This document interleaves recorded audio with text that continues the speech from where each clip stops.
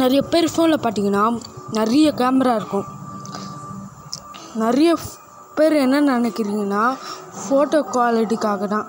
இல்லைங்க எதுக்குன்னா zoom out and zoom இன்காக தான்.